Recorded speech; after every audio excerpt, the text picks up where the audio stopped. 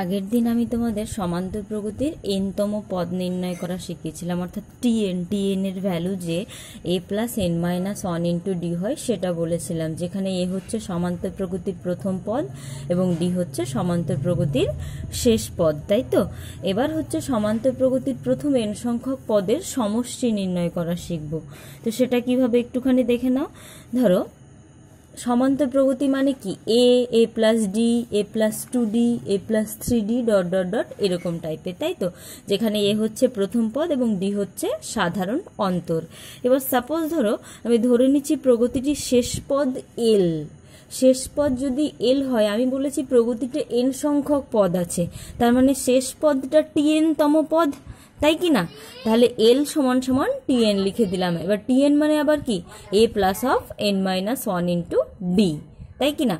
এবারে আমি দেখো একটা সমান্তর প্রগতি উদাহরণ দিয়ে বলেছি, ধরো থ্রি ফাইভ সেভেন নাইন এই এই যে এটা, এই চারটে সংখ্যা সমান্তর প্রগতি গঠন করে, তাই কি না? যার প্রথম পদ থ্রি এবং সাধারণ অন্তর হচ্ছে টু এবারে দেখো, এখানে শেষ পদ নয়।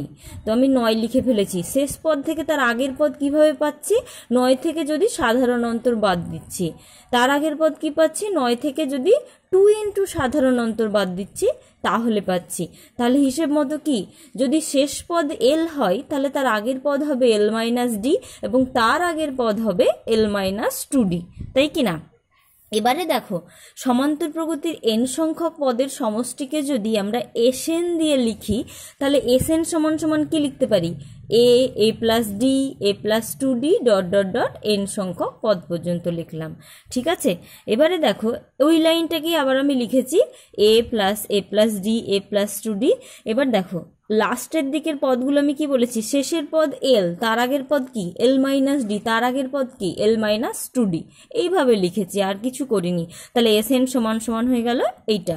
এবার এই সমীকরণটাকে আমি আমরা এক নম্বর দিয়ে দিলাম, ঠিক আছে? এবারে এই যে এক নম্বর সমীকরণটাকে আমরা যদি উল্টো করে লিখি, তাহলে কি দাঁড়াবে? এদিকে এসেন যেমন ছিল থাকল মানে অ্যাকচুয়ালি এই টার্মগুলো এই দিকে এবং এই টার্মগুলো এই দিকে। তাহলে কি দাঁড়ায়? L plus L minus D plus L minus two D plus dot dot dot A plus two D plus A plus D plus A দিয়ে এটার আমি নাম দিয়ে দিলাম টু এবার ওয়ান প্লাস টু যদি আমি করে দিই, তাহলে এদিকে বাম পক্ষের সঙ্গে বাম পক্ষের যোগ হবে এবং ডান পক্ষের সঙ্গে ডান পক্ষের যোগ হবে, তাই তো?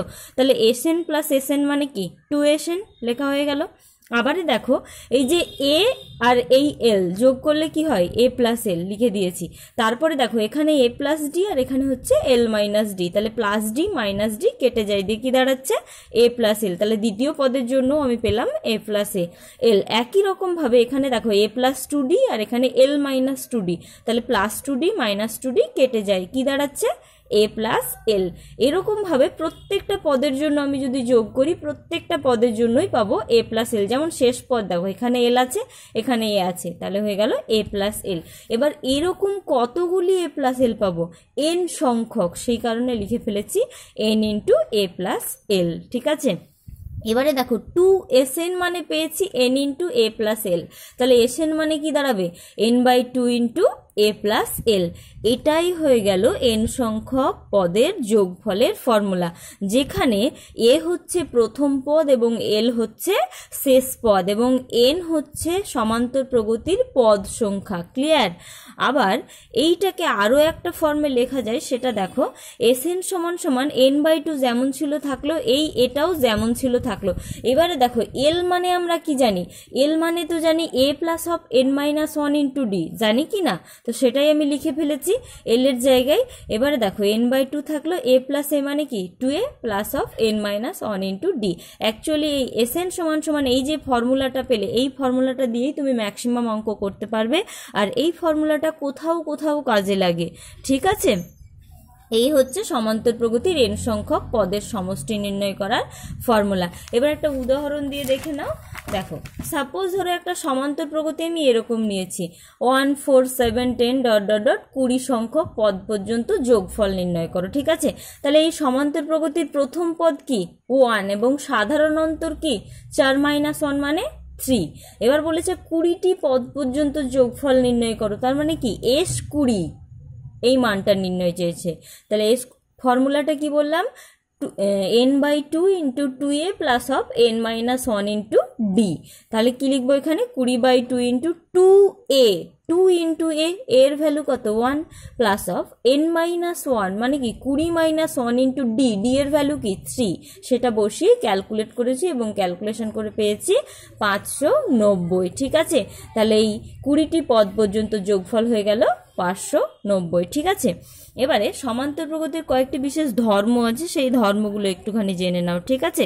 তো সমান্তর প্রগতি মানে কি? A plus D A plus two D A plus three D এই ফর্মে থাকবে সংখ্যা। তো এই সমান্তর প্রগতির প্রত্যেকটা পদের সঙ্গে যদি তুমি একটা ধ্রুবক রাশি যোগ করো, ঠিক আছে? সমান্তর প্রগতির প্রত্যেকটা পদের সঙ্গে যদি একটা ধ্রুবক রাশি সাপোজ ধরো কে যদি যুক্ত করো, তাহলে যে নতুন প্রগতিটি গঠন হবে, সেটাও একটা সমান্তর প্রগতি গঠন করবে।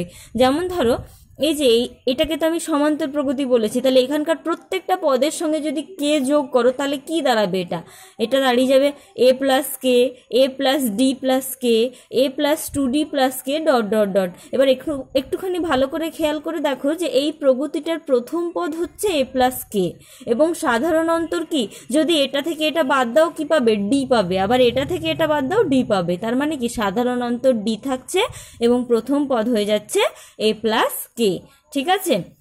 আবার একই রকমভাবে যদি সমান্তর প্রগতির প্রত্যেকটা পদ থেকে যদি একটা ধ্রুবক রাশি বাদ দাও, তাহলে যে নতুন একটা সংখ্যামালা পাবে, সেটাও সমান্তর প্রগতি গঠন করবে, ঠিক আছে? যেমন ধরো এই যে কে যদি বাদ দাও, তাহলে A minus K, A plus D minus K plus A plus two D minus K dot dot dot এবার দেখো, যার প্রথম পদ কি? এ মাইনাস কে। আর সাধারণ অন্তর কি? এটা থেকে এটা বাদ দাও, কি পেয়ে যাবে? ডি পেয়ে যাবে।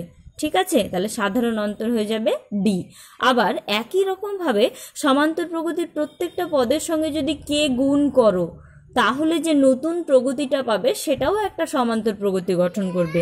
যেমন ধরো, এই যে এই যে সমান্তর প্রগতিটাকে তুমি যদি এ দিয়ে গুণ করো, প্রত্যেকটা পদকে আমি এ দিয়ে গুণ করেছি, তাহলে কি দাঁড়াচ্ছে?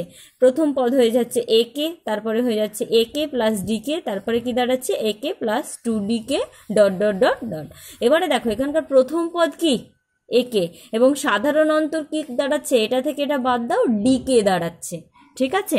একই রকমভাবে সমান্তর প্রগতির প্রত্যেকটা পদকে যদি তুমি কিছু একটা ধ্রুবক রাশি দিয়ে ভাগ করো, তাহলে যে নতুন প্রগতিটা পাবে সেটাও সমান্তর প্রগতি। কিন্তু সেক্ষেত্রে মনে রাখতে হবে যে জিনিসটা দিয়ে, যে টার্মটা দিয়ে তুমি ভাগ করবে, সেটা অবশ্যই নট ইকুয়াল টু জিরো হতে হবে। কারণ দেখো, যদি ইকুয়াল টু জিরো হয়ে যায়, তাহলে সামথিং বাই জিরো সেটা আনডিফাইন্ড হয়ে যায়। সেই কারণে এখানে K not equal to zero হতে হবে, ঠিক আছে?